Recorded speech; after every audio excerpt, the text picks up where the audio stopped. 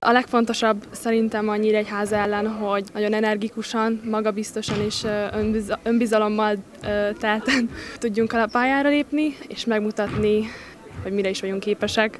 Reméljük a Nyíregyháza ellen ezt most meg fogjuk tudni mutatni, hogy a, a végjátékban is mi tudunk kijönni eredményesebben.